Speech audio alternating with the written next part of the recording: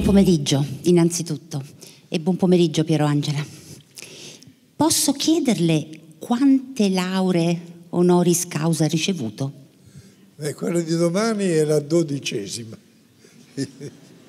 è una collezione. Ma, sai, io vorrei dire due cose su queste lauree, che tra l'altro hanno titolo legale, sono legali. Forse se facessi un concorso da vigile urbano avrei un punteggio altissimo. Alti- le manca il dottorato? Dovrebbero darle un dottorato a questo punto. Ah, eh sì, ha avuto 11 lauree e un dottorato. Ah, ecco. Ecco, sì. Ma diciamo, senza stare a fare questi... È in realtà un riconoscimento della comunità scientifica del lavoro che stiamo facendo e che abbiamo fatto, perché queste lauree le prendo io, ma le meritano tutti i collaboratori che in questi tanti anni hanno lavorato con me alla RAI, ma anche fuori. E quindi è importante perché a parte le soddisfazioni ovviamente di avere queste medaglie, c'è il fatto che quando si fa divulgazione, tu lo sai perché fai questo mestiere, necessariamente bisogna semplificare che altrimenti non funziona. È importante semplificare bene e quando la comunità scientifica ti dà questi riconoscimenti vuol dire che mette il timbro sopra, vuol dire si stampi, si ascolti, si veda. E questo per noi è importante perché eh, ci incoraggia anche a fare, a fare sempre meglio e a sapere che la divulgazione ha comunque una sponda importante di supporto, che è la comunità scientifica.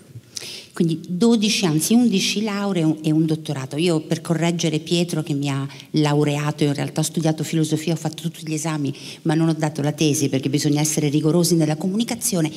A parte questo, parleremo di semplificazione, parleremo anche tra poco eh, di, come negli anni del suo lavoro di giornalista scientifico questo tema è stato oggetto di dibattito sui giornali, no? su, su cosa significa semplificare. Però prima le volevo fare una domanda un po' stupida forse. Cioè lei è uno straordinario testimonial della scienza, è uno dei personaggi della cultura italiana più conosciuto, più apprezzato e più amato in Italia.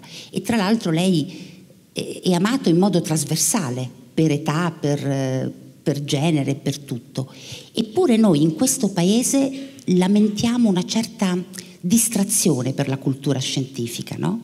Lei si è mai chiesto questa contraddizione dell'essere così amato, così apprezzato e poi però eh, trovarsi di fronte a un paese che fa fatica ad acquisire una ma me lo chiedo anch'io. Ecco, cioè, ecco che, che, che, idea si è fatto? Ma qui, indubbiamente nel mio lavoro c'è stata una personalizzazione della divulgazione, cosa che la RAI, cioè il mezzo televisivo, Permette. esalta. Perché intanto dammi del tu perché siamo colleghi. Questa è l'abitudine che alla radio noi ci diamo del lei anche tra fratelli. allora, c'è certamente una personalizzazione. Eh, la, la, seconda cosa è che io ho sempre cercato di fare dei programmi che permettessero al pubblico veramente di entrare dentro questo be- bellissimo mondo della conoscenza. Ti faccio un esempio che mi è rimasto molto impresso. Quando ho scritto il mio primo libro, io ho scritto 39 libri di scienza, tutti gli argomenti Sono diversi. numeri importanti, 12 lauree honoris causa e 39 libri, tenete a mente. Eh, poi... Quindi ho lavorato tanto. Quando ho avuto nelle mani il mio primo libro, che è stato un momento di grande noia, L'uomo e la marionetta, ricevetti la lettera di una signora di Varese che mi ringraziava perché dice finalmente io leggendo il suo libro ho capito sono un'appassionata di questi argomenti, leggo, però a un certo momento c'è la nebbia e non riesco a avanzare, mi mancano un po' i punti d'appoggio. Allora io le ho risposto eh, questa lettera, lei aggiungeva, cosa importante, E questo è successo perché il, il suo libro è scritto in modo piacevole e scurrile. Eh, allora, io, io ho risposto a questa signora che mi ha poi riscritto. Era una persona intelligente, eh, curiosa, che non aveva potuto studiare, ma ha fatto la quinta elementare perché la famiglia l'aveva mandata a lavorare. E quindi faceva l'infermiera, ma brava, era una persona di qualità. Però le mancavano le chiavi del linguaggio. E io lì ho capito che c'era, poi parliamo di tanti anni fa, l'Italia era un paese anche meno eh, istruito, eh, si andava meno a scuola, comunque ci si fermava prima però tanta gente curiosa, intelligente, appassionata anche, che veniva esclusa dal sapere perché gli mancava lo strumento, linguaggio di poter entrare. E questo mi ha colpito molto. Allora da allora mi sono, ma già da prima, perché in fondo chi fa divulgazione tende a farla anzitutto per se stesso. Cioè voglio capire, ma è chiaro sì? E allora io ricordo la prima cosa, primissima, che ho fatto di divulgazione scientifica e quando ho cominciato a lavorare alla radio, che mi hanno chiesto di fare a Torino, io sono torinese, mi avevano chiesto di fare un documentarietto radiofonico sulla Valle d'Aosta. La Valle d'Aosta perché? In generale. Sì. E tra queste varie cose, perché Valle d'Aosta ci sono tante cose, ci sono le centrali idroelettriche, e ho spiegato come funziona una centrale idroelettrica. E la cosa mi ha soddisfatto molto, dico, tiè, ho trovato gli esempi giusti, perché questo è il punto, bisogna trovare gli esempi. E se tu hai l'esempio azzeccato, tac, si illumina la lampadina. È questo che bisogna fare col pubblico, fare accendere il cervello alla televisione, a casa, non solo la televisione, si accende anche il cervello. E allora hai questi risultati. Torneremo a parlare anche di, insomma, di come le persone eh, ne, negli anni della sua carriera hanno commentato e seguito la sua carriera, ma se oggi lei dovesse dire in che cosa è differente l'essere un giornalista scientifico in quegli anni in cui l'Italia era meno istruita, aveva come dire un rapporto con la cultura più anche reverenziale in qualche modo e oggi Oggi noi parliamo di fake news, parliamo di social network, di internet. Il ruolo del comunicatore scientifico, il giornalista scientifico è cambiato per lei? Eh, per quanto mi riguarda no, devo dire che se io leggo i miei libri dell'epoca li scrivevo allora come oggi. I programmi televisivi lo stesso, beh certo, poi col tempo ci si affina, si inventano, ci sono anche delle tecnologie, la grafica, in particolare col computer eh, si è aperto un mondo nuovo per la grafica. E se ne è spento purtroppo un altro perché c'è stato un momento proprio all'inizio dei programmi televisivi Quark, sin dal primo anno, io ho fatto con Bruno Bozzetto tanti cartoni animati. E purtroppo non so se qualcuno se ne ricorda, pensi che abbiamo fatto 45 cartoni animati di scienza eh, di 8-10 minuti, il che vuol dire l'equivalente di 7 film di cartoni animati. I cartoni animati bisognava disegnare fotogramma per fotogramma, un movimento doveva essere, bisognava colorarli a mano uno per uno e quindi era una tecnica che oggi diventerebbe troppo costosa e non si può fare. E questo è un grande peccato perché tanto Bruno Bozzetto è un genio, vabbè, questo, e però io attraverso questi cartoni animati abbiamo spiegato tantissime cose. Faccio un esempio, me lo dicevo proprio ieri un collega col quale stiamo lavorando, Paolo Magliocco, che lavora anche in Superquare e si occupa del web. Tu sai, dice, abbiamo messo sulla rete un tuo vecchissimo cartone animato con Bruno Bozzetto, che era la ricerca degli antenati. Era una cosa carina perché partiva dal fatto che tu hai due genitori, ogni genitore ha avuto due genitori, a loro volta altri due, rapidamente eh, ogni 300 anni moltiplichi per mille i tuoi, quindi arrivi ai romani hai già un milione, poi miliardi di cosa che non è possibile perché sulla Terra si calcola siano vissuti forse 100 miliardi di, pers- di Homo sapiens in tutta la storia. E quindi ne avremo ognuno di noi molti di più, che è un ventaglio che in realtà si chiude perché siamo tutti imparentati. Insomma, a parte quello, era fatto molto bene. Ma dice, sai, l'abbiamo messo sulla rete, sai, da da poco, sai quanto ha già di visualizzazione? 2 milioni e 800 mila. 2 milioni e 800 mila. Cioè, queste cose qui funzionano benissimo ancora oggi. Lei va in rete, eh? usa i social. Lei io, usa i social network? No, io non li frequento quei posti. non, non le piace? Ma non mi diverte. Io vedo il chiacchiericcio di tutte le pettegolezze. Io navigo sulla tastiera, ma del pianoforte. Ah, ecco. Eh, è molto meglio. È molto...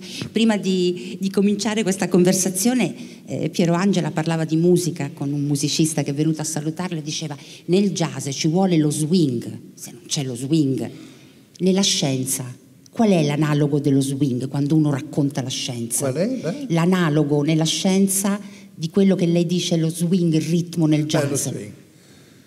Eh, è difficile da dire, forse Celentano potrebbe spiegarlo.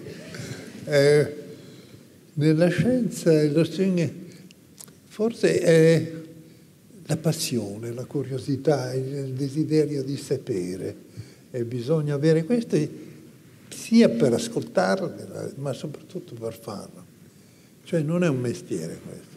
Poi, certo, si possono imparare le tecniche, ma è, è una passione, direi che quasi una missione, in termini umili, di missionare, di, di propagare questa conoscenza. Di guardate, è pieno di roba interessante, fantastica, che tra l'altro ci aiuterebbe a diventare un paese moderno. Vedi, io quando vedo, poi se vuoi parliamo anche di politica, in termini non di partiti, di correnti, questa roba qui, poi certo è, fa parte della vita da sempre in tutti i paesi, ma il fatto che non si riconosca il grandissimo ruolo che ha scienza e tecnologia nello sviluppo economico, ma oggi la competizione è fatta di innovazione, di idee, di ricerca, di nuovi materiali, di competitività. Questa roba qui eh, nasce nelle aziende, io faccio sempre l'esempio della Kodak. La Kodak era, chi ha i capelli bianchi se lo ricorda, un impero. Noi abbiamo sempre la pellicola Kodak, la foto, eh, è crollata, è fallita con l'arrivo della... del digitale. Se qualunque azienda non inserisce anche, magari in processi tradizionali, ma l'innovazione che gli permette di costare una lira, un franco in meno, o un, un, euro in meno, o farlo in meno tempo, o avere un clientino in più, quello è fuori mercato. E quindi un paese che non fa questo io ti cito per esempio l'esempio della Germania, che la Germania, come l'Italia, ha una spina dorsale importante di industrie tradizionali, eh, meccanica, e, eh, però sono un po' più grandi quelle, le nostre sono troppo piccole. Ma anche in Germania c'è molta eh, imprenditorialità che non può fare ricerca in proprio, la può fare la Fiat, la, la General Motors, ma un piccolo imprenditore ha bisogno di qualcuno che lo aiuti a fare quello che si chiama trasferimento tecnologico, fare divulgazione a livello di macchine. In Germania esiste un, un'istituzione che si chiama Fraunhofer che assiste un imprenditore nell'innovazione. Tu vai là e dici, senta, io ho questo problema, come si migliora? A pagamento questo ti mettono degli esperti che lavorano sul problema e ti danno una soluzione. Questa roba qui esiste dal 1949. Allora, voglio dire, è un piccolo esempio, ma un paese che vuole aiutare la propria imprenditoria, che è l'unica che poi ha la voce più, perché gli altri, certo. devi voce bene, gli altri si spende, qui si guadagna. Non aiutare questo processo di innovazione in tanti settori, ma che poi riguarda anche la burocrazia, Adesso c'è un tentativo di digitalizzare la burocrazia anche per contrastare la corruzione, cioè rendere più trasparente. Queste cose se non si fanno il paese rimane indietro. Sai che l'Italia è l'unico paese europeo che ha la produttività ferma da vent'anni. La produttività non è la produzione, vuole dire che tu con gli stessi soldi, con la stessa energia, gli stessi materiali e lo stesso numero di impiegati o di operai, fai di più o fai di meno. È l'efficienza la produttività. Come si fa a non essere, eh, a non progredire nell'efficienza? Forse noi non sappiamo parlare e formarci per il futuro. Noi usiamo molto la parola futuro nei giornali. Quando si parla di scienza si parla spesso futuro, si parla di medicina, di intelligenza artificiale, poi però eh, ci manca quella capacità di ragionare intorno al futuro. Noi oggi siamo quasi nel 2020, cioè è passato un quinto del nuovo secolo e in questi primi vent'anni c'è stata un'accelerazione incredibile in molti campi eh, della scienza. Che cultura dovremmo avere? Che formazione, che cultura dovremmo, come dire, coltivare? Mi, mi perdoni, insomma, per poter affrontare e formarci per il futuro, secondo lei? Ma vedi, il, anzi, vedi, perché c'è del tutto, eh, eh, so, è, è una cosa contagiosa. allora senta, signora. Mi dica, signore. Anzi, prof forse. Maestro, ah, sì, maestro, maestro mi piace di più. No, ah, ecco, sai che la cosa... Una volta mi chiamano signor Angela poi signor Angela funziona male. Perché... No, sai così, signor Piero, perché è un po' come il signor Mike. No? Esatto, è come il signor Mike. È molto popolare. Poi mi ha chiamato dottore, poi professore e mi fa molto piacere che sia la mia domestica ora filippina che mi chiama professore. Non l'ho mai contraddetta. Beh, beh con 12 lauree, maestro. Con 12 lauree professore, eh, diciamo, viene da solo, ecco, è giusto. Eh. Comunque siamo tutti professori, nel senso che insegniamo tutti qualcosa. Allora, è una domanda molto importante questa. Eh, il futuro, noi abbiamo una schizofrenia in questo. Noi ci occupiamo molto del futuro quando sono cose che ci riguardano. Faccio l'esempio. Se uno eh, se ha dei figli, investe su di loro non solo soldi, ma investe in eh, educazione, in istruzione, eh, porta all'insegnare inglese, eccetera, li mette nelle condizioni migliori per affrontare il futuro, ma senza spiegargli le cose di cui dicevo prima. Noi ci occupiamo del futuro quando se abbiamo un'azienda, un negozio, un'attività e programmiamo facciamo anche debiti, ma perché poi pensiamo che con l'attività possiamo pagare i debiti e sviluppare il lavoro o il progetto. Questo funziona quando si è a livello personale.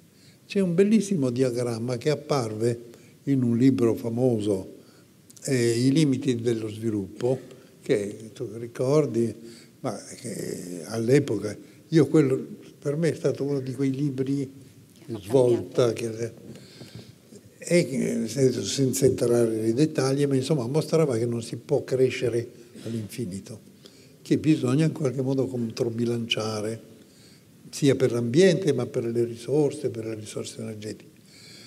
Ed è stato il primo libro che allora era un po' considerato eh, e che però ha cambiato la filosofia del modo di vedere il futuro. Ebbene c'era un diagramma molto interessante, erano eh, uno schema con una specie di tavola pitagorica, con tanti quadratini, 10, 10. Allora, il primo quadratino in basso a sinistra aveva tanti punti dentro ed era io e la mia famiglia. Mi interessa moltissimo, oggi. Io e la mia famiglia oggi. Man mano che dicevi, domani, fra un anno, eh, nel futuro, i pallini diminuivano. Man mano che tu dicevi eh, nella mia città, nel mio paese, nella, in Europa, eh, diminuivano. Il, la casella estrema, il futuro dell'umanità, era un pallino. Allora, questo è comprensibile perché noi abbiamo un cervello che è evoluto non pensando al futuro, ma pensando al presente e conta tutto quello che ci emoziona nel presente. Poi, se vuoi, possiamo parlare di questo, che per quanto riguarda la comunicazione è molto importante. Ma ti faccio un esempio a non voler guardare nel futuro. Proprio questa mattina io ero a Roma, stiamo registrando il programma nuovo Super Quark, prendete nota, che comincia... Quante puntate sono fino Nove. adesso? Super, no, fino adesso Quark e Super ah. Quark. Perché abbiamo fatto 39 libri, 12 lauree, dobbiamo fare dei numeri che poi noi... Guarda, vent'anni fa abbiamo festeggiato le 2000 puntate. Vent'anni fa. Allora, questa mattina ero in studio per registrare, ah, voglio dire, 26 giugno. Rai 1. Mercoledì, prima serata, Rai 1. Rai 1, 9 puntate. Mercoledì sera. Quando il giorno dopo vengo a vedere, eh? Sì che noi abbiamo tutti i dati disaggregati riusciamo quasi a capire anche... Ma deve vedere sui social cosa succede quando lei va in onda. Ah, lo so, stesso, lo so. Adesso Ma domani lei si... social, tutti hanno detto c'è un sito che è intitolato Piero Angela, noi ti ubbidiamo. non ti ubbidiamo o noi ti ubbidiamo? Noi ti ubbidiamo. Ah, noi ti ubbidiamo, sono devoti. 170.000 persone. Dico, facciamo la marcia su Roma. Eh, prendiamo il potere e cambiamo tutto. Eh, quest, questa cosa che, di, che, tu dici potrebbe essere pericolosa perché prima o poi qualcuno ti verrà a cercare con le tue milizie. Ah, sì. Allora, dicevo, stamattina ero in studio col professor Antonio Golini. Il professor Antonio Golini è una persona che io ho frequentato, ho frequentato professionalmente ogni demografo, tanto. Per, è un demografo, tu conosci. E allora stavamo riparlando di demografia. Allora quando dici futuro, lui ha scritto un, altro libro che si chiama Italiani poca gente e parlando di, delle cose che si cominciano oggi a dire che facciamo troppo pochi figli. E c'è una, uno studio della Banca d'Italia uscito tre, settima, tre settimane fa, quindi recentissimo, che mostra la curva di discesa della popolazione giovane in Italia e in Europa nei prossimi 25 anni, nel 2045.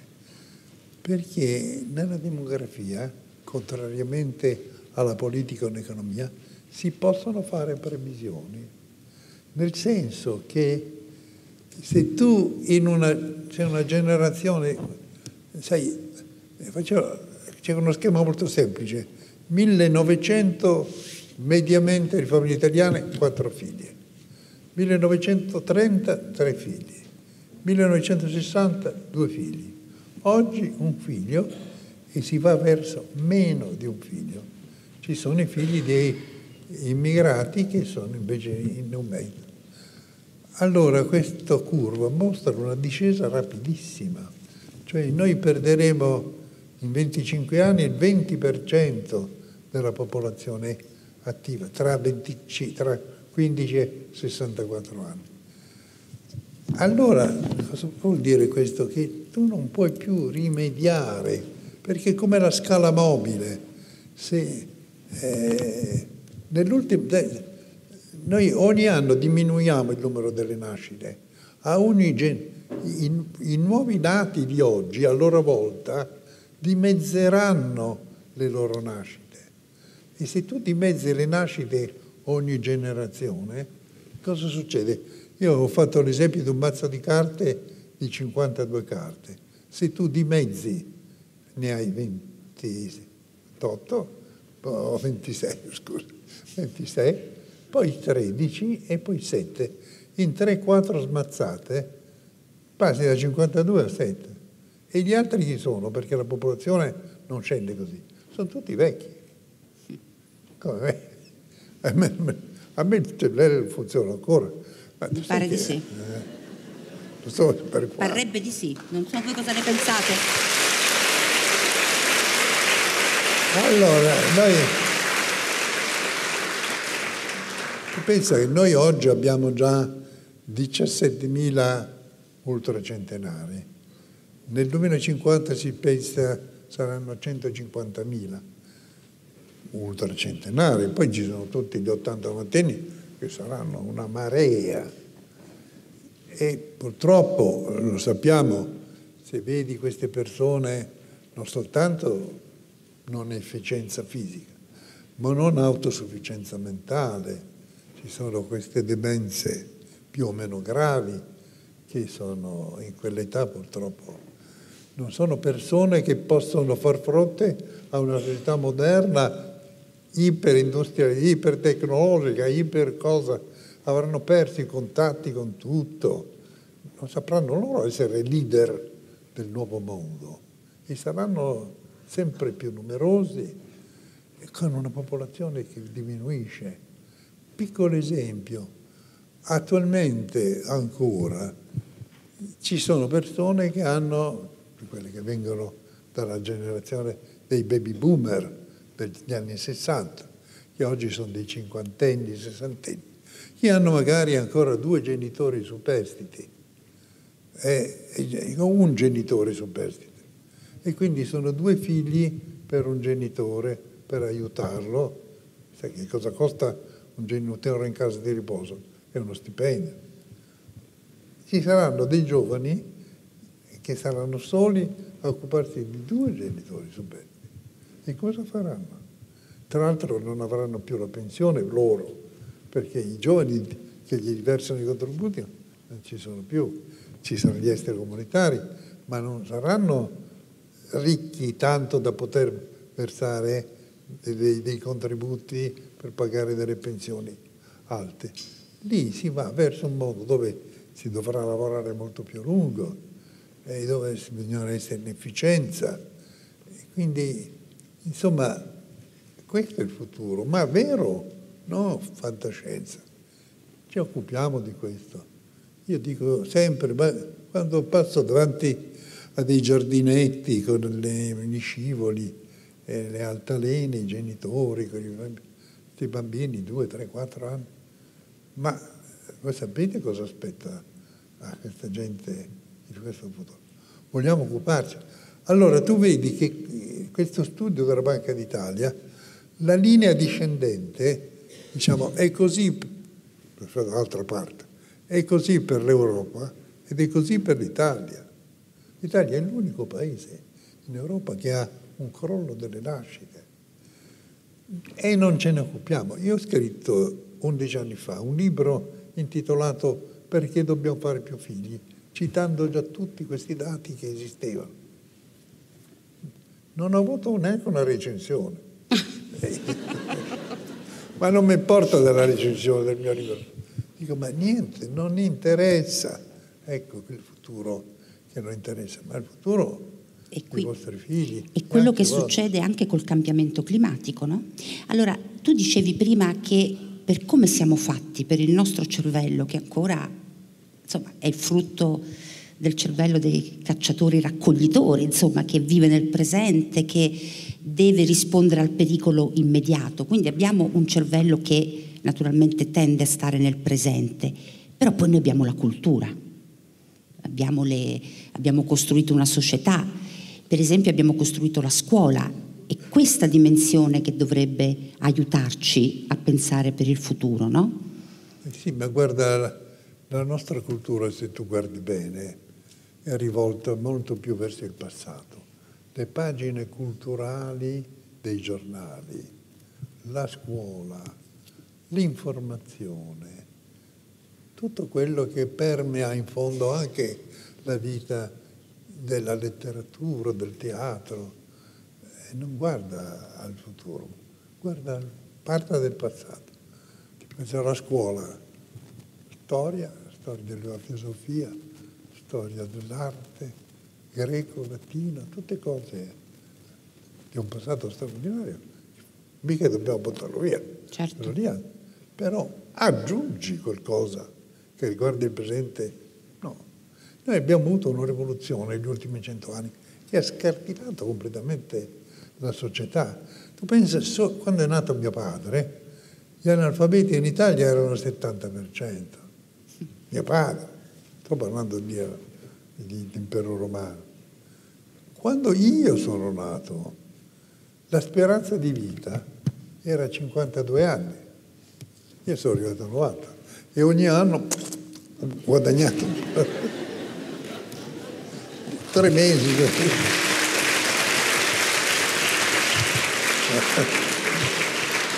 Perché poi quando si pensa al futuro ci si guadagna. L'analfabetismo era ancora al 20%, cioè gente che non sa anche scrivere la firma.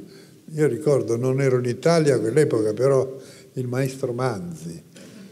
Ci sono dei filmati, se tu vedessi gli allievi del maestro Manzi, sono persone che vengono da un altro mondo, anche degli, delle facce antiche, scolpite dalla, dalla fatica, dalla sofferenza, dal sole, dal lavoro, di persone che volevano se non altro leggere una lettera, scrivere, guarda, non diventare colti. Diventiamo questo, che poi sapere l'analfabeto, l'alfabeto no, non vuol dire essere, essere colto, sapere leggere e scrivere. Allora questa, la televisione è un mezzo che arriva ovunque in modo molto pervasivo, capillare sarebbe l'ideale per raccontare queste cose, quello che noi, tu stai facendo alla radio, io in televisione. Purtroppo sono cose eh, che hanno un po' episodiche, eccezionali, in fondo noi facciamo nove puntate l'anno. Dal 26 giugno, 26. mercoledì, in prima serata Rai 1. Su centinaia, migliaia di ore. Allora, eh, sì, tu dicevi prima il cervello del caffeggiatore e del coglietore. Allora, io ho scritto molte cose sul cervello che ovviamente è l'argomento più straordinario. Rapidamente tu queste cose le conosci, ma è bene anche sempre un po' ricordarle. Che noi abbiamo una macchina che è composta, che è molto recente tra l'altro, andate a vedere esattamente la configurazione generale è simile a quella degli animali superiori, di scimpanzé, ma anche di quelli un po' più giù. Eh, sai che geneticamente noi abbiamo 50% di geni comuni con la banana. Anche con la cipolla. vuol, vuol dire che due banane fanno un uomo, ma comunque siamo costruiti con gli stessi geni. La struttura cerebrale cioè corteccia, sistema limbico, midollo allungato è uguale in tutti i mammiferi, con proporzioni diverse. Cioè questa corteccia noi ce l'abbiamo un po' più sviluppata e altre, diciamo dello scimpanzé, molto di più, eccetera. Allora però abbiamo questo nucleo forte, che è quello arcaico, che ci fa reagire sulle cose importanti, pericolose in realtà è cercare una preda o evitare di essere predato. Preda nel senso anche un'insalata, cioè, oppure è qualcosa che ti fa vivere. Tutto quello che pericoli, gioie, tutta la nostra vita è fatta di quello. Il giornalismo è fatto di quello. Se tu guardi il telegiornale, ma anche i giornali, giornali un po' meno perché c'è tutto un discorso un po' lungo, ma cosa, quali sono i grandi titoli? sono crisi polemiche, accoltellamenti, incidenti, incendi, morti, personaggi, oppure amore, canzoni, cose gratificanti, sport. E difatti si dice che in fondo i, i grandi titoli giornali si fanno con 5 S, sangue, soldi, salute, sport, scandali, Sesso. sesso. Eh, però se nella grande informazione il sesso non si fa molto perché il, il grande pubblico non ama molto. Cioè, oddio, in famiglia il sesso non funziona, noi lo vediamo in televisione. Eh, ore tardi, sì. E cosa vuol dire questo? Che siamo fortemente condizionati dalle emozioni. Io ho avuto una grande esempio, una grande lezione di giornalismo quando ho cominciato a fare il mio lavoro alla radio, 1952, come giovane cronista. Al mattino alle 11 c'era, una, c'era un collegamento da Roma con tutte le sedi, RAI, radio, non c'era ancora la televisione, per la scelta dei servizi della sera. C'era il caporedattore da Roma, Carlo Bonciani, che chiamava Venezia, Milano, Torino, Genova, per chiedere cosa avete per Radio Sera stasera. Arriva a Genova e dice cosa avete per stasera per Radio Sera? E il cronista dice, bah, era il 52, la Genova produceva navi, la ricostruzione, avremmo un varo. E il caporedattore da Genova dice, Sandro, te l'ho già detto, il varo interessa se va male. allora, le cose interessano se, se, se, se vanno male. Se invece le cose normali non interessano.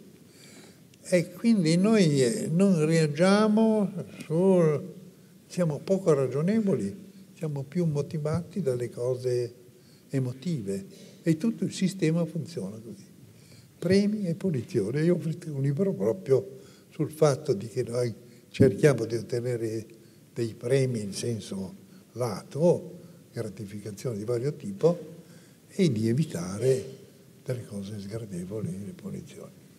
E purtroppo eh, gran parte delle cose di cui stiamo parlando, se non entrano nel campo visivo immediato, tu non reagisci. Bisogna simulare un rischio, un pericolo, che verrà, non verrà, beh intanto viviamo la giornata.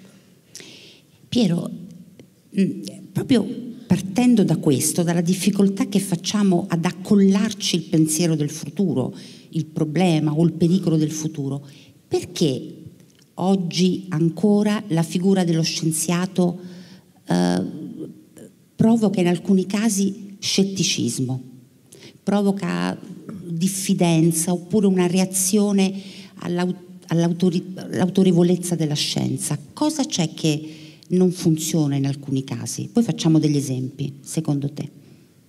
Ma perché la scienza non la si conosce e quindi gli scienziati appaiono come delle persone eh, che hanno un potere in mano ma che tu non riesci a controllare, quindi si pensa sempre che dietro ci siano dei complotti, poi lo sappiamo nel campo della medicina, delle, dei farmaci, della scienza, eccetera.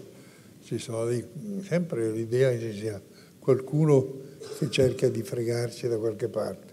Ora, a volte è così, ma non gli scienziati. Gli scienziati, cioè, bisogna capire una cosa ben... Eh, capire cos'è la scienza e la tecnologia, sono due cose completamente diverse. Gli scienziati non inventano niente, gli scienziati scoprono. Cosa vuol dire? Che scoprono delle cose che già esistono. Einstein ha scoperto la relatività, ma la relatività esiste da sempre. È lui che ha trovato il modo di codificarla, ma queste leggi esistono. Newton ha scoperto la gravitazione universale, ma questo esisteva, mica deve aspettare Newton perché esisteva. I scienziati scoprono soltanto, non fanno nient'altro. Quindi la scienza è conoscenza, punto. Basta. La tecnologia prende lo spunto, la conoscenza da queste nuove leggi che sono utilitaristiche per fare macchine, controlli vari, anche farmaci. Il farmaco è una tecnologia, la medicina è una tecnologia, la ricerca medica è scienza, cioè di cose di scoprire, scoprire come abbiano una malattia. Poi ci sono altri che cercano di trovare strumenti per contrastarla. Quindi la manipolazione, se avviene, non è a livello di scienziati. Gli scienziati fanno altro che aprire dei, coperchi e vedere cosa c'è dentro. Allora eh, tu puoi dire sì, c'è, c'è naturalmente, a questo punto subentra il terzo elemento, che è il controllo della tecnologia.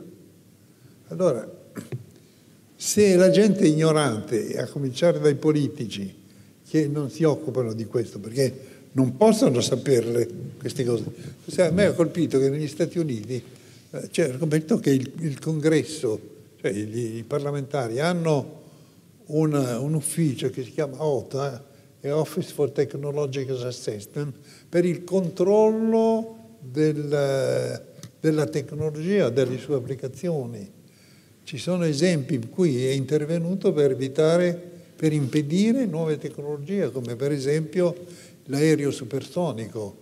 Il, la, la, Francia aveva fatto il suo Mirage, no, come si chiama? Concorde e che andava a New York, eh, si fa colazione a Parigi, pranzo a New York e cena a Parigi. Eh, gli americani avevano un progetto che è stato proibito dal congresso perché inquinava gli, alti, gli strati alti dell'atmosfera. Ecco, quindi è vero che queste cose funzionano poco perché poi gli interessi sono troppo forti e travolgono, però per dire il controllo deve essere fatto. Sai, tutta la politica ambientale è quella, eh, è quella di arginare certe tecniche. Certe... Oggi lo vediamo in continuazione. Bisogna abolire i sacchetti di plastica, bisogna abolire tutta una serie di cose. L'asbesto, non parliamone. E poi la cosa curiosa è che io quando ho cominciato a fare questi documentari televisivi, negli anni 60, quando andai al centro di Lione di eh, oncologia, quello sul tumore, la ricerca sul tumore. Dove tra l'altro poi il direttore era Tomatis. Tomatis era un mio compagno di scuola, a mio amico. Al liceo? Come? Al liceo? Alla, alle scuole elementari. Tu pensa che siamo rimasti amici per tutta la vita.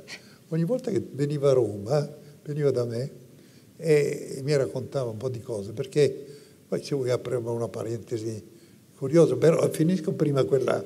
Finiamo Perché prima. lì gli chiesi, ma quali sono gli cancerogeni sicuri? Ce n'erano 13 allora, tra cui l'amianto. Da allora hanno continuato a fare le ricoibentazioni con l'amianto. Tu vedi che ah, quanto spendono adesso per, per buttare giù le case, a cominciare dalla DEAR, io stamattina ero... Il centro di produzione RAI, RAI, RAI. la DEAR. Ha dovuto demolirlo e ricostruirlo perché... Ma anche Viale Mazzini aveva il suo... Ma Mario Zini non ancora, fare. ma sono lì.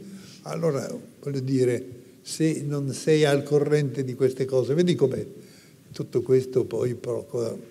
Eh beh, dicevo per Tomatis, Renzo Tomatis, Renzo Tomatis. Renzo Tomatis è stato il direttore di questo centro di ricerca sui tumori di Lione, è stato un grande medico, anche sì. divulgatore della medicina. Sì. È tra l'altro un divulgatore un po' particolare. Allora ti racconto un po' questa storia che è anche molto istruttiva. Noi eravamo proprio amici amici, nel senso che poi io andavo anche in vacanza nella sua casa a Trieste, perché lui era Triestino. di origine triestina. E allora eh, poi eh, ci siamo persi, lui è, è, ha fatto medicina, poi io sono partito dall'Italia, sono stato via 13 anni, quindi... E lui è diventato, eh, si è laureato in medicina e poi è andato a fare ricerca negli Stati Uniti, a Chicago e in un centro di ricerca di tumori. È diventato un brevissimo ricercatore nel campo dei tumori e ha voluto rientrare in Italia a Torino perché dice, va, adesso è arrivato là e ha detto, ma tu che hai fatto? E eh, guarda, tutto questo. Ma con che professore sei? Beh, non so, eh, niente, non è riuscito a diventare un ricercatore. Allora si è scocciato, se n'è andato via, è tornato in America, ha scritto un libro per Einaudi il laboratorio, dove raccontava tutte queste cose. Raccontava anche quello che succedeva agli italiani che andavano là per avere un piccolo certificatino di, no, del ricercatore. E allora quando lo incontrai a un certo punto, che mi ha detto, sai, adesso sono vecchio, vorrei tornare in Italia dopo tutta una vita passata qua. E dice, però adesso c'è un concorso a Roma. E dico, partecipa. Sì, ma poi so già come succede. Eh, tu fai la tua trafila, fai come un scolaretto, mettiti in fila, fai la tua domanda, partecipi al concorso. E lui fece così, andando alla posta. Senza, eh, Risultato? Eh, no, eh, cominciarono a un certo punto a chiamarlo dicendo ma guardi forse è meglio che non è forse adatto per lei, questo come non è adatto. Mi ha detto che alla fine gli telefonò il Presidente della Commissione dicendo sa sarebbe imbarazzante perché in fondo nel suo curriculum ci sono poche ricerche, come poche ricerche? E ma lei ne ha presentate solo, ma io ho presentato quelle pesanti, e poi ne ho tantissime altre Insomma, si è scocciato e ha, dico, vabbè, allora scrive un altro libro. Ha scritto un altro libro raccontando tutte queste cose. Tutto questo te lo racconto anche perché a un certo momento mi venne a trovare, dice, guarda che, che c'era il caso di Bella. Ricordate tutti la multiterapia di Bella con la somatostatina, che eh, alcuni ritenevano si cominciò anche una sperimentazione sì. continuata. Il problema non era tanto il farmaco in sé, era che si chiedeva il riconoscimento per diventare un farmaco pagato dal sistema. Guarda che c'è la tua cosa che ah, Grazie, ecco cosa stavi. Eh. E per essere rimborsato, la Rosi Bindi, che era allora il ministro della salute, si oppose era l'unico uomo libero LGBT. e coraggiosamente andò dappertutto a dire no, fin quando questa cosa... Pensa che ci furono, forse voi lo ricordate, molti magistrati che dissero bisogna che sia riconosciuto perché ci sono testimonianze. Ma che testimonianze?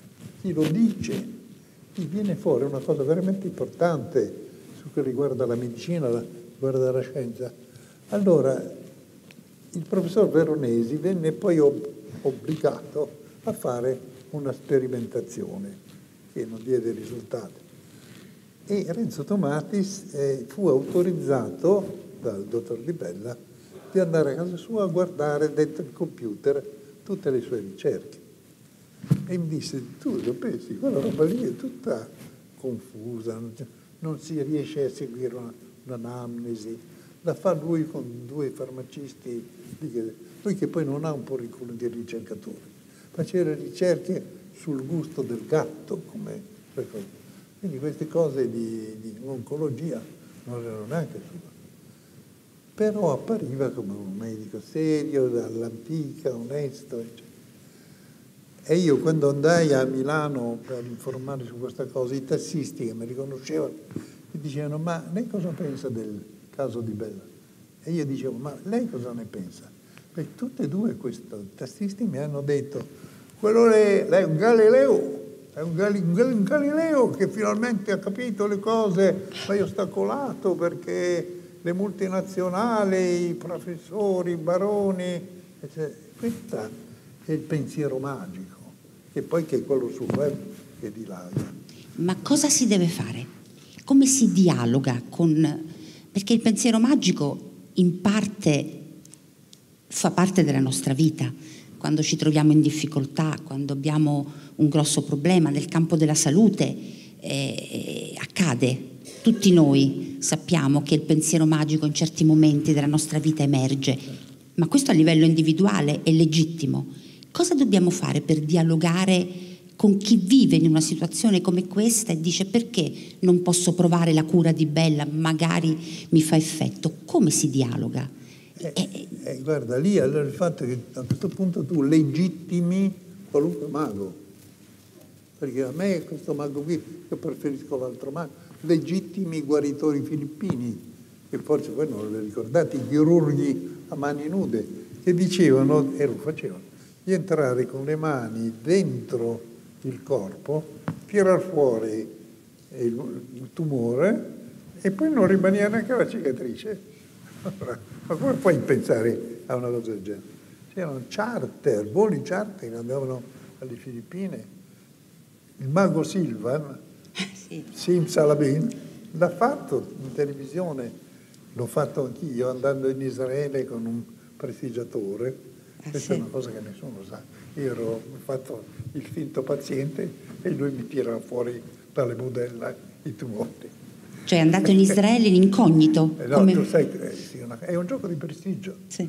Nel senso, io l'ho anche spiegato in un mio libro e Silvan mi ha rimproverato, dice guarda perché l'hai detto? Che quello è uno dei trucchi di base dei prestigiatori. Quando il prestigiatore ti dice guarda niente la mano a sinistra, niente la mano a destra, fa così e viene fuori un fazzoletto. Ah, cavolo, deve venire fuori. Il fa così e più niente.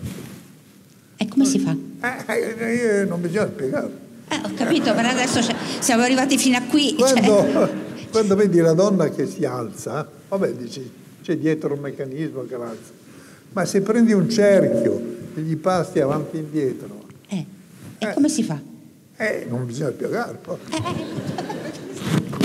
allora, quello è un mondo straordinario.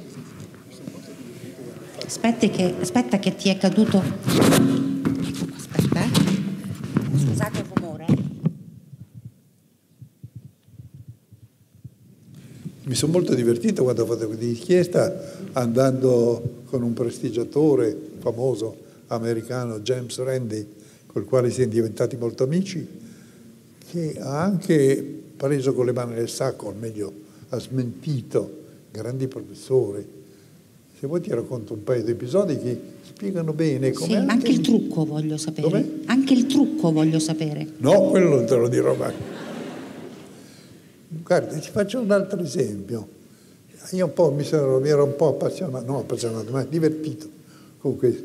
Una volta d'estate con mia moglie ci siamo divertiti a fare la telepatia. Lei era girata di schiena a 10 metri da me, io prendevo la carta d'identità di persone e lei diceva la data di nascita. Ci azzeccava? Funzionava? Poi con un altro amico abbiamo perfezionato un po' il sistema e eh, io andavo in giro a chiedere delle fotografie che uno aveva nel portafoglio di giornali settimanali e questo mio amico le descriveva. Allora tutti lì a dire, eh, ma allora c'è una radio, c'è lo specchio, c'è il complice. Niente di tutto questo. Ma allora come fai? E a un certo punto l'ho spiegato. Ah, vabbè, allora, eh sì, come sì? Allora devi capirlo, mai più spiegherò un trucco. Ho capito, però non è che ci puoi lasciare ah, così. Tu lo devi capire. Eh. Oh, è così. Perché... Bella altri... divulgazione. Perché altrimenti, quando ti trovi davanti a uno no, che dice è Ferragosto, facciamo uno scherzo, ma uno che viene lì e dice ecco io ti lascio prendere. Se invece hai imparato a capire come avviene, si chiama mentalismo questo. Sai, i prestigiatori hanno tante specializzazioni. Ci sono quelli che seguono la bomba e ci sono quelli che fanno le cose con le carte e ci sono i mentalisti. Allora, faccio questo esempio di questo prestigiatore. Eh, c'era un un fisico delle particelle in America, mi ricordo si chiamava Sarfatti, che aveva dato per buono Uri Geller, quello, quello che piegava gli cucchiai col pensiero, che in realtà era un trucco. E aveva fatto una dichiarazione pubblica dicendo che lì c'è qualcosa da capire. Tra l'altro è uno che lavorava sulla meccanica quantistica, cioè il comportamento delle particelle. E quindi sì, è una cosa che non capiamo. E questo prestigiatore gli scrive, dice guardi, eh, non è vero, lì ha fatto un giochetto. Di... No, no, non è possibile. Andiamo a pranzo insieme, andiamo a pranzo insieme. Allora, andiamo a pranzo insieme, dice glielo faccio anch'io. Prendiamo per esempio questo cucchiaio. Ah no, questo no, adesso andiamo a prendere, ecco, quello là, quel cucchiaio, quel tavolo là. prende, si, tac, si spezza in due. Questo rimane, dice, e ha fatto una dichiarazione, smentisco quello che ho detto, visto il precisatore che mi ha fatto la stessa cosa. E poi gli ha chiesto, ma come ho fatto? No, questo non posso dirlo. A me me l'ha spiegato. Sai come ha fatto? Eh. Siccome questi cucchiai che si... non è che è in quel momento che il fatto avviene, è già avvenuto prima. Il gran parte di questi trucchi non avvengono sul momento, questa è la cosa che la gente non è avvenuto ore prima. E allora lui era arrivato due ore prima nel ristorante, aveva snervato tutti i cucchiai. Una cosa banale, dice, vabbè, allora, eh, allora un fisico ha fatto una figuraccia. Un altro esempio, eh, si era sparsa la voce che c'erano dei ragazzi, dei mini Geller, che anche loro piegavano le cose. E c'è stata una grande società americana, la McDonnell Douglas, che è quella che fabbrica motori per aerei, che ha detto, oh, fosse che fosse che qualcuno poi mentre voliamo mi storce. Insomma, ha dato all'epoca 700 mila dollari per una ricerca su questi ragazzi. E un fisico dell'Ohio ha accettato di un'università e ha cominciato a fare sperimentazioni con questi ragazzi. E alla fine ce ne sono rimasti due che facevano cose straordinarie. Non solo piegavano cose, ma a distanza muovevano anemometri, muovevano poligrafi. Ecco, sono cominciati a uscire dei rapporti su questa ricerca e James Randi ha scritto questo fisico, guardi, stia attento perché questi ragazzini fanno dei giochetti, lei No, risposta, il protocollo è molto stretto, non possono essere. Va bene, dice io se vuole vengo a aiutarla, no, no, no, non c'è bisogno. Passa un po' di tempo, Jeremy fa una conferenza stampa, che casualmente tra l'altro io ho visto perché ero a New York in quel periodo, e racconta questa storia e dice, e sapete chi sono questi due straordinari? Eccoli qua, sono due miei assistenti che sono andati là e hanno preso in giro questo professore, per, sono due anni che gli fanno. Un altro grande scandalo, eh, ah ma questa è una provocazione, però un premio Nobel, Murray Gell-Mann, ha proposto a James Hamlin per una laurea honoris causa in fisica, perché certi fenomeni, se, eh, lo scienziato è abituato al fatto che le molecole non barano, gli atomi, le cellule non barano, gli uomini sì, e se vuoi tutelarti da gravissimi rischi come questi, devi prendere l'esperto, è come in un gioiello, tu dici guarda che bel gioiello, le sette bellezze, lo compra, dice no, un momento, lo faccio vedere dal, dal mio gioiello, no, il gioielliere non lo deve vedere, perché fanno così, gli esperti non possono entrare.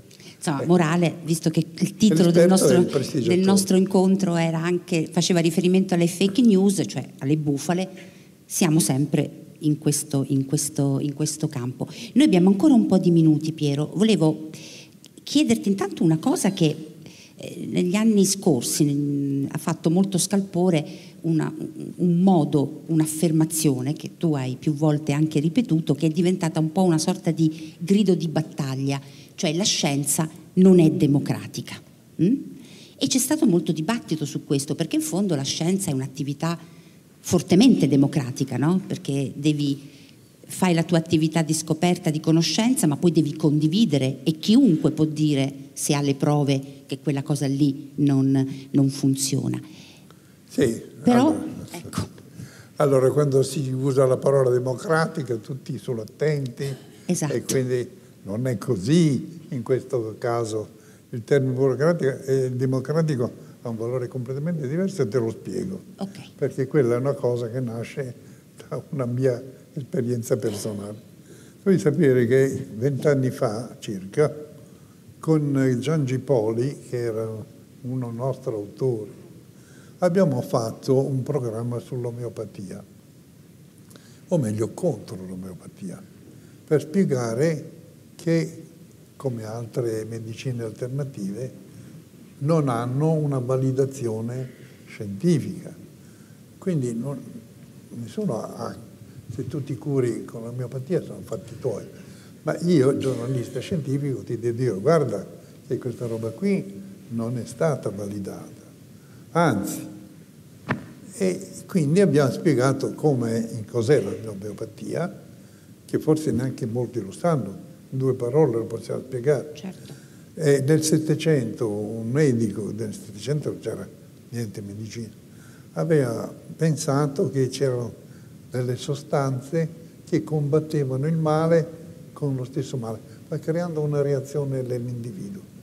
E questo può anche andare bene perché i vaccini sono fatti così, però i vaccini sono una cosa molto raffinata, là erano dei strani intrulli. Col fatto però che la sua idea è che più era diluita questa sostanza, più funzionava. È come dire che se tu eh, hai del barolo, più l'annacqui più, più, è buono. più è buono. Insomma, che po'. Allora lì questa cosa bisogna, ancora oggi, se tu in un contenitore metti un centesimo di questa, di questa sostanza in 99 centesimi di acqua, poi scuoti 100 volte verticalmente, poi butti via il 99% d'acqua e gli rimetti di nuovo, cioè tutte di quel contenitore e gli metti di nuovo acqua. Stessa cosa dopo, scuoti, butti via il 99% e rimetti il 95%. Quindi la prima succustione, partendo da un centesimo, arrivi a un decimillesimo, poi a un milionesimo, a un centomilionesimo, a un decimiliardesimo. Quando arrivi alla tredicesima eh, diluzione, sei sicuro che di sostanza iniziale ormai non c'è più niente, perché il numero d'Avogadro, cosiddetto, il numero di molecole limitato che statisticamente. Ma lì tu continui 15, 20, 25, 30, 40, 60, 120 lì sei sicuro che non ci sia neanche l'acqua. Allora, questa, poi tu imbibisci una pastiglia di quest'acqua, che poi è vaporosa, e quella è la cura. Eh, dico, scusa, vabbè, tutto può essere perché la magia che ti sa. Ma se fai le prove non funziona. Quando è che funziona? Perché la gente ci sta meglio. E allora io cito quelli che arrivavano dalle Filippine dopo che erano malati di tumore, diceva io sono guarito, sto meglio, c'era una che cominciava a fare cia cia cia e stava malissimo. Perché la percezione che tu hai, l'autosuggestione, l'effetto placebo cosiddetto è molto potente, ma l'effetto placebo non è una cura, tu ce l'hai con qualunque cosa. Ecco, insomma, come diceva la madre di Michele Mirabella, il presentatore e lui mi ha detto che, sai, mia madre ha detto una cosa interessante. Dice, io mi curerò con una medicina alternativa quando mi ammalerò di una malattia alternativa.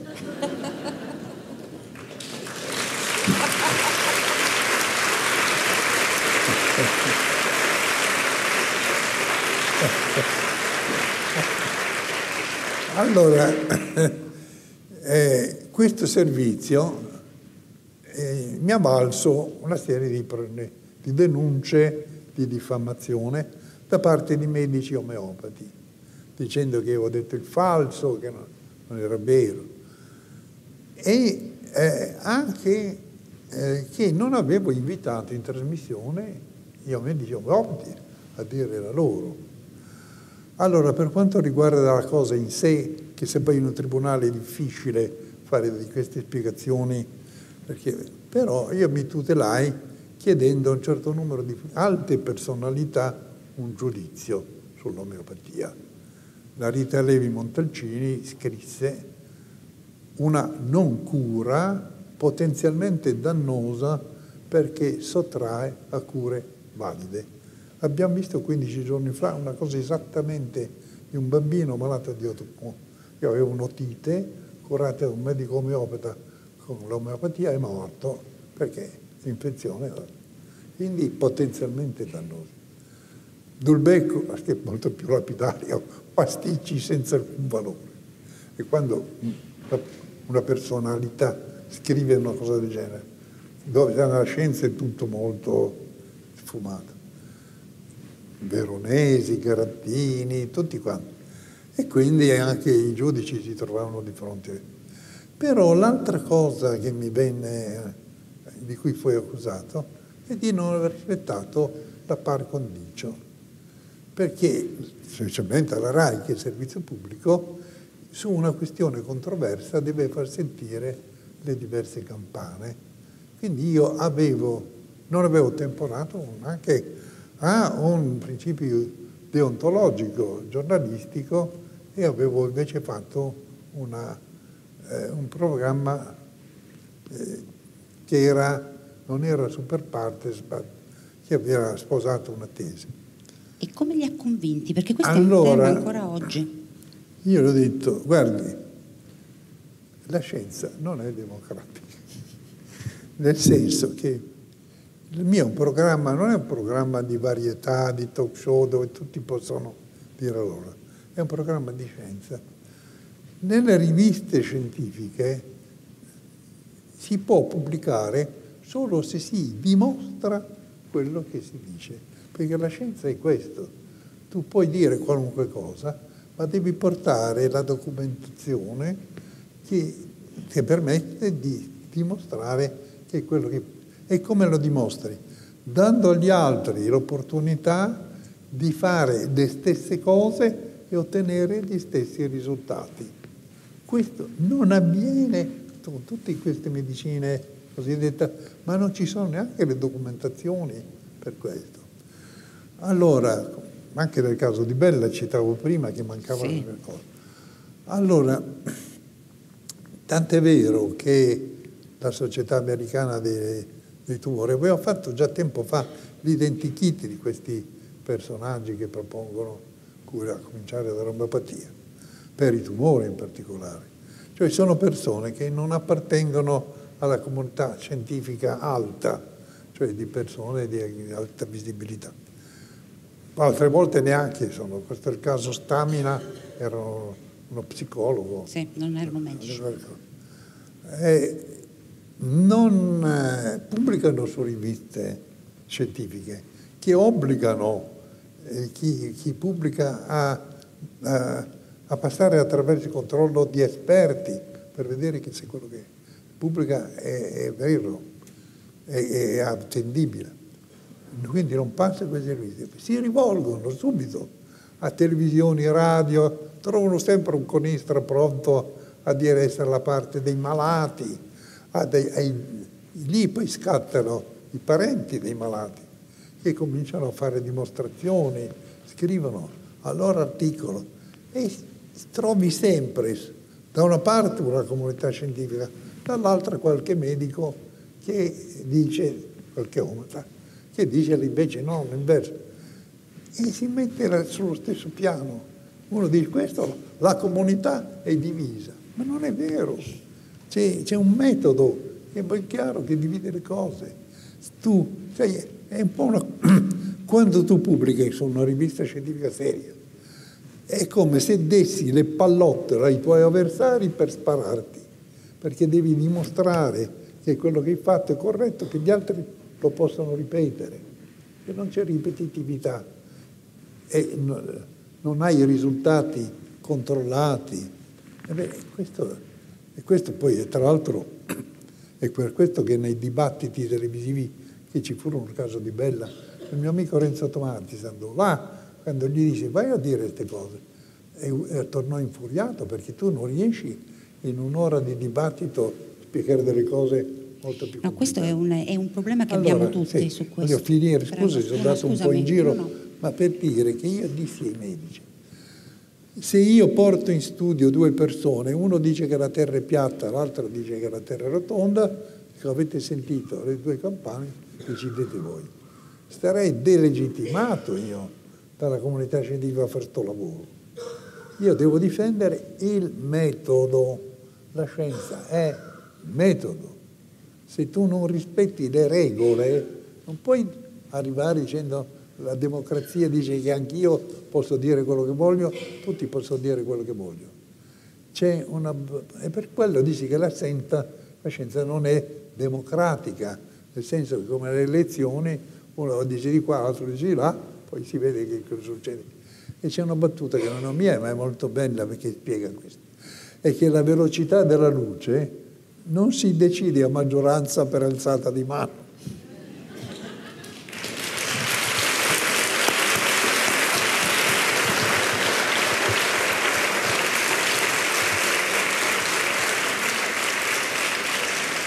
Però è stato, è stato un bell'impegno difendersi, insomma, ha dovuto lavorarci sì, molto. Sempre, sempre eh, promosso, eh, come dire, d'assolto, eh. persino i ministeri, i pubblici ministeri chiedevano già la mia soluzione. Tranne uno ah. eh, che invece mi ha attaccato molto e che era tra l'altro un procuratore generale, quindi un, un alto magistrato e dopo andrai a parlargli, lo incontrai e dico, ma scusi, perché c'era tanto con me? Perché io e la mia famiglia ci curiamo con l'omeopatia e funziona. Eh. è lei che già decide che funziona. È difficile questo perché poi le persone... Eh, mio padre era psichiatra, mi diceva che su dieci persone che venivano, tre avevano dei disturbi altri tre cose curabili e altri tre niente, avevano cose di bubu che poi le cose che oscillano, no? che non sono le bene male. E allora dice, per questi io eh, prescrivevo a ACP. Cioè? ACP. Che cos'è? Aspetta che passi. Saggio saggio, degno papà di Piero Angela, molto, molto, molto saggio. Piero, abbiamo, insomma, volevo chiudere questa conversazione perché tra poco più di un mese ci sarà il cinquantenario dello sbarco, del primo sbarco dell'uomo eh, sulla Luna. E tu hai deciso di diventare giornalista scientifico. Eri un giornalista, facevi, sei stato corrispondente da Bruxelles, hai fatto tante cose come giornalista, diciamo, eh, generale, generalista. Però tu hai deciso di diventare giornalista scientifico proprio dopo aver seguito le missioni Apollo, dopo essere stato eh, sì. lì e aver seguito le ricerche che si svolgevano lì alla NASA. Allora, intanto, che cosa è successo lì che ti ha fatto cambiare il percorso della tua carriera? E poi, così poi chiudiamo in allegria, se c'è un tuo astronauta preferito. sì, ce n'è uno, poi te lo dirò perché. Io allora, come ti ho detto, eh, ho fatto per 13 anni fuori dall'Italia, prima a Parigi, poi a Bruxelles, corrispondente. Poi mi avevano chiamato per fare il primo telegiornale condotto da giornalisti, perché fino allora erano gli annunciatori che leggevano le notizie. E quindi con Andrea Barbato ci siamo alternati per questo nuovo telegiornale delle 13.30, che è stato il primo, poi il modello era sperimentale e passato a tutti gli altri telegiornali. Quando non eravamo in studio a fare la conduzione, ognuno di noi due se ne andava in giro per fare i servizi per il telegiornale. Barbato, tra l'altro, capitò di essere a Los Angeles quando uccisero Bob Kennedy e io ero in studio, quindi andavamo avanti per sette ore. E invece a me capitò di seguire il progetto Apollo, eh, seguì quindi l'Apollo 7, 8, 9, 10, 11, 12 a Capo Kennedy, Houston, ma io andai molto in giro, feci tanti documentari, eh, andando nelle industrie, in tutti i centri della NASA, eh, in tutte le le, gli,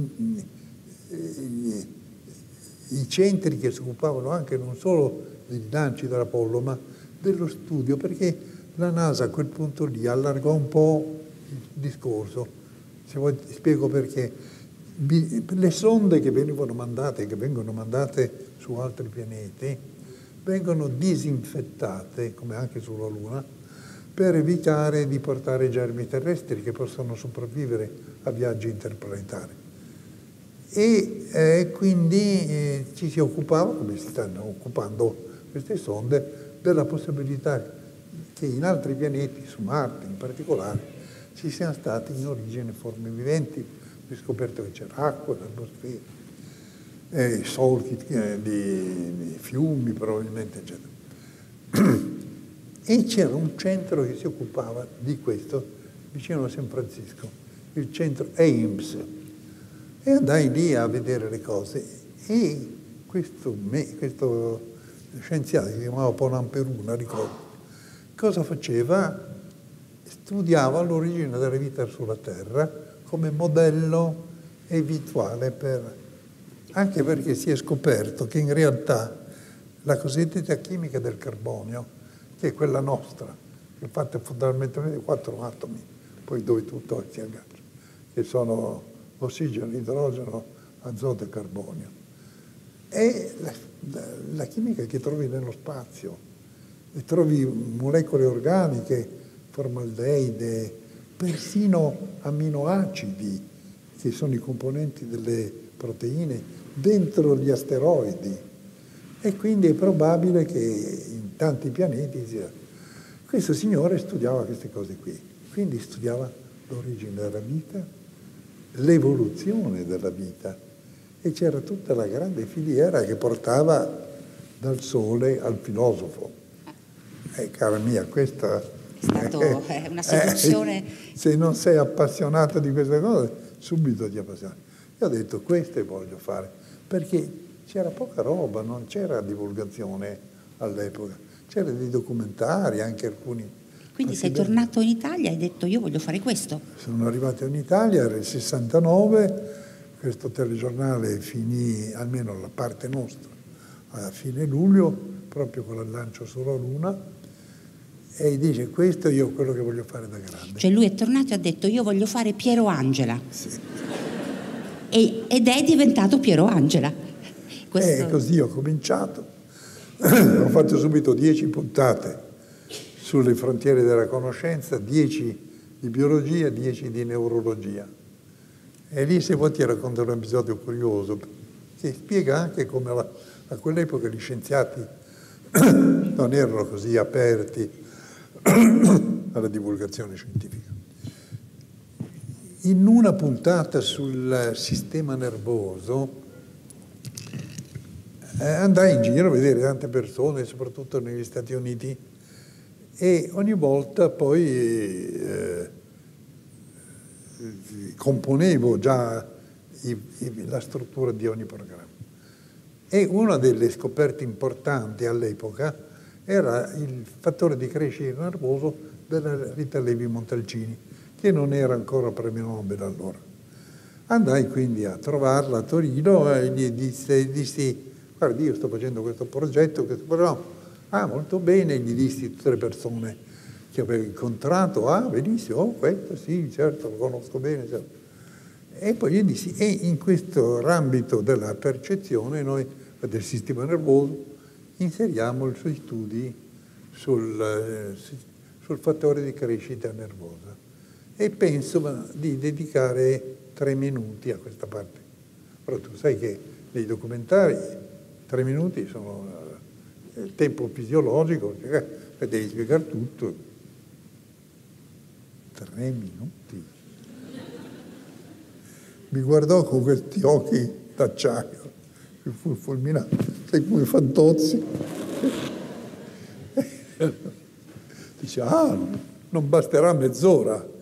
E io terrorizzato. Tra l'altro è una cosa difficile da spiegare. Eh, dico, guardi, è qui però... Ah, no, no, no, no, arrivederci, grazie. Questo è stato il mio rapporto con la leader Montalcino.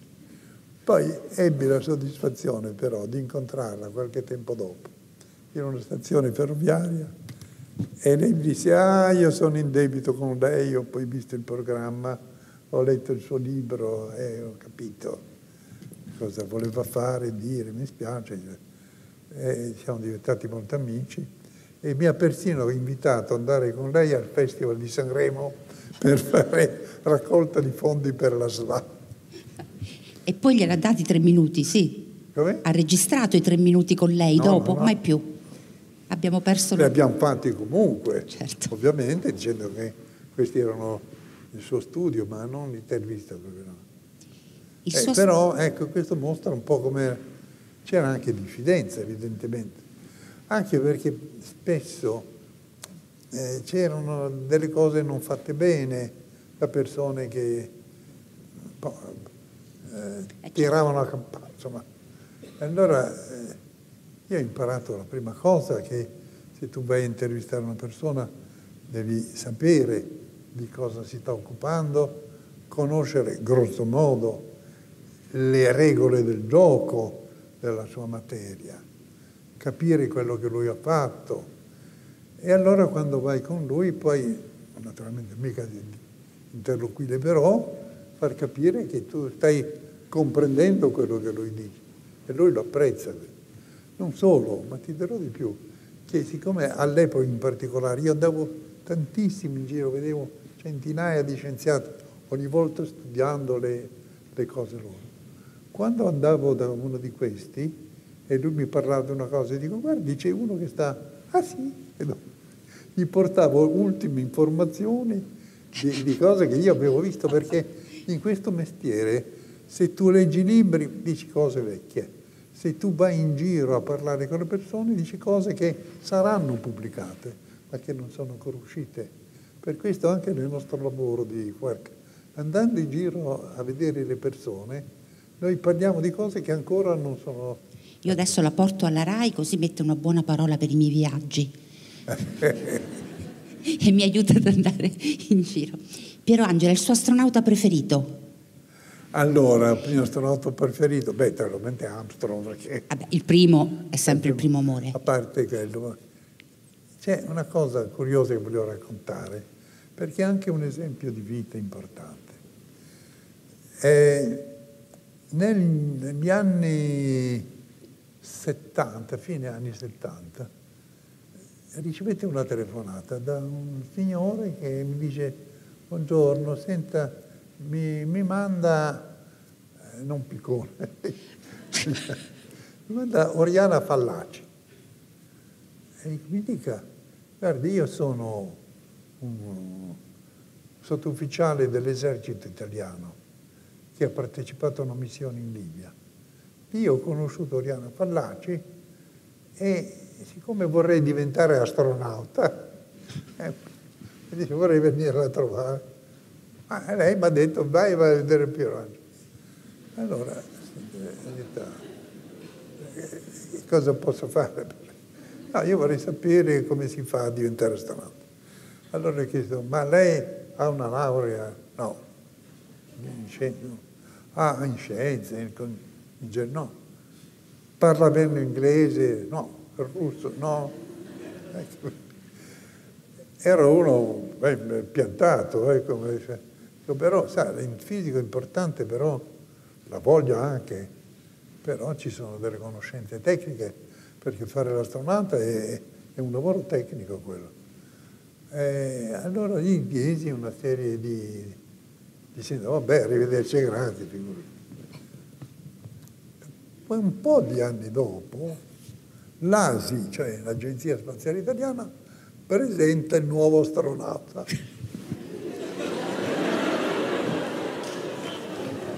ma quello lì... Eh, ma non è possibile. Nespoli. Paolo Nespoli.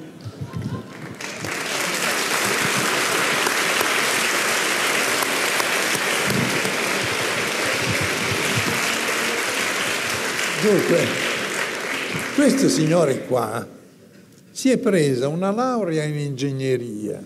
Finendo un anno prima degli altri. E ha fatto tutti i suoi corsi. Siete ricordati che poi gli astronauti italiani sono pochissimi, sulla punta di una, di una mano. Sono sette, otto, quanti sono? Sì. Insomma, è riuscito in questa cosa, ha fatto delle missioni importanti, ha fatto extraveicolare, ha fatto sei mesi, fatto... adesso riparte di nuovo. È stato su a 60 anni che, insomma... Eh. Allora, ma sei in assenza di gravità? Sì, questo... a chi mi chiede?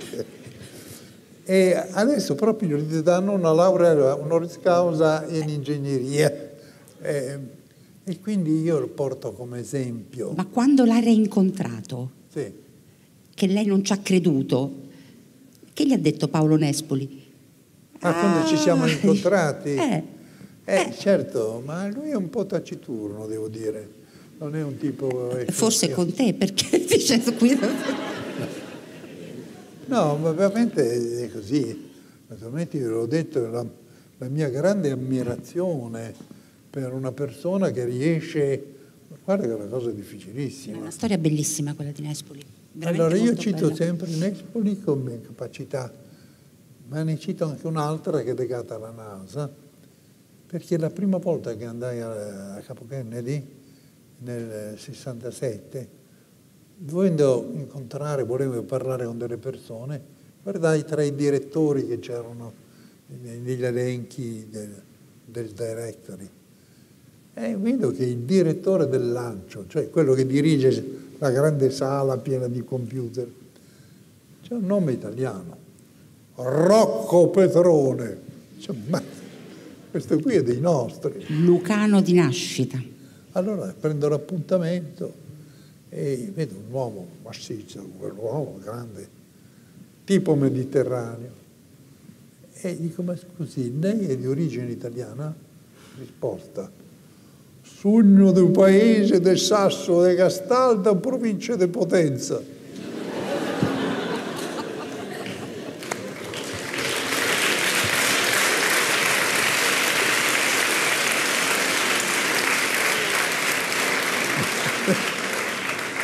Ma come quello?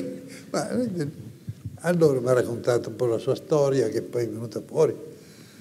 Lui era già nato negli Stati Uniti, ma era lì da poco, la sua famiglia da pochi anni, arrivati dal Sasso di Castalda, che è un paesino proprio dove siamo andati poi a filmare le, le cugine con il, il vestito nero, la pannocchia, cioè, e, aveva la famiglia era povera, poverissima, sai, proprio quelle delle fotografie si vedono arrivare. Il padre, tra l'altro, morì poco tempo dopo, la madre lavorava, da quanto ho capito, una fabbrica di guanti. Insomma, questo ragazzo era intelligente, aveva da fare, ha cominciato a studiare, ha avuto delle borse di studio e sai, in America ci sono, è vero c'è una forte selezione, anche perché le università costano tantissimo, ma ci sono molte borse di studio per ragazzi in gamba. Insomma, questo qui è riuscito a entrare all'Accademia Militare di West Point, che è un'accademia molto elitaria. Di lì eh, ha preso una laurea tipo Nespoli. all'MIT in ingegneria spaziale. Insomma, è diventato, aveva queste due qualità, militare e, e ingegnere, eh, e quindi eh, ha cominciato a lavorare sui razzi Redstone, Atlas, che erano i primi razzi che poi hanno portato la Mercury, la Gemini. Quindi lui ha fatto tutta la, la gavetta, tutta la storia. E a un certo momento alla NASA è diventato una persona affidabile, molto competente, è diventato direttore del lancio. Non solo, ma in seguito è diventato il capo di tutto il progetto Luna, per cui il capo del, di tutte le missioni lunari, è il number one. Rocco Petrone che gli ha risposto come ce lo ripeta. Sogno di un paese di Sasso de Castalda, provincia di Potenza.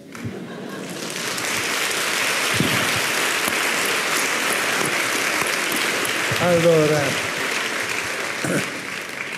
questo mostra che in un paese dove l'ascensore sociale Funziona. funziona, se uno ci mette proprio, evidentemente ci sono problemi dappertutto, però questo lo dico a volte anche ai giovani, dico guardate che se poi volete muovervi bene in questo nuovo mondo così difficile, imprevedibile, dove però queste cose contano, l'impegno personale, la capacità non di prendere una laurea così, diploma, perché poi, poi fai il concorso, metti il punteggio, ma dovete cercare l'eccellenza e questa la si fa con tanto, come dice il genio, è, è 10% ispirazione e 90% traspirazione. cioè tanto lavoro. E tanto sudore. E dei risultati si ottengono lavorando molto. Poi ci vogliono i talenti individuali, ma quelli ci sono. In Italia siamo pieni di, di gente, persino troppo intelligente. Però ci manca, la... ecco, quello che noi abbiamo veramente eh, bisogno di, di sviluppare è un sistema per fare in modo che queste intelligenze funzionino in una, un progetto, che non siano un po' come le lampadine, tu lo sai che i fotoni da una lampadina escono casualmente, nel laser sono tutti allineati e, e la stessa forza, la stessa energia che tu hai per fare la lampadina o un laser dà dei risultati diversi. A noi manca questa cosa, specialmente già nello studio. L'asticella è troppo bassa, poi ci sono centri di eccellenza, ma vediamo, si fa essere ultimi in Europa come risultati scolastici, durati 15 anni. La Germania aveva avuto questo problema simile al nostro, ci sono, messi di punta per migliorare. Se tu vai nei paesi orientali, ma diventi matto a vedere come studiano questi. Quindi insomma più, pazzesco, più istruzione alta e poi insomma, progetti, bisogna provarci, impegnarsi e provarci. E poi e avere dei progetti. Di, di, di impegnarsi anche in progetti, non aspettare che queste cose ti vengano.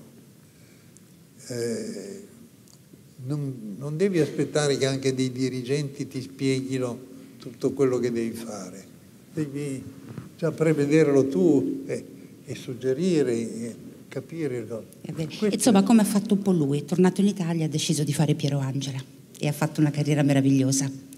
Va bene, questo è. Questo credo che sia il messaggio più bello. Piero Angela.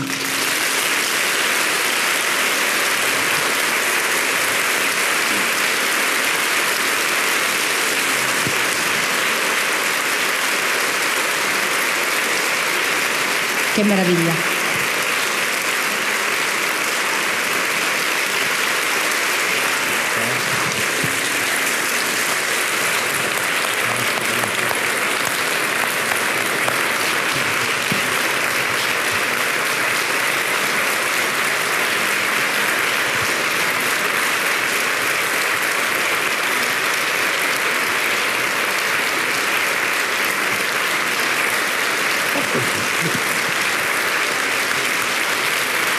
Quante altre persone riuscireste ad ascoltare per due ore, così senza annoiarvi? Che onore.